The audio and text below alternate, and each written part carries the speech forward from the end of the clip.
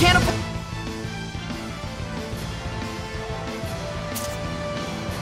Oh no!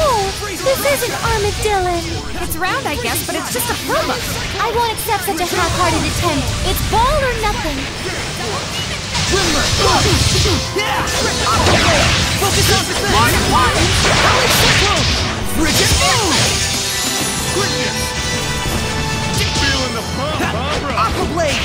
Alex, let's take them all down!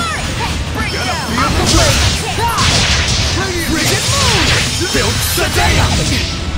Finally project Torn Spear! Can you keep up? Come divine wings!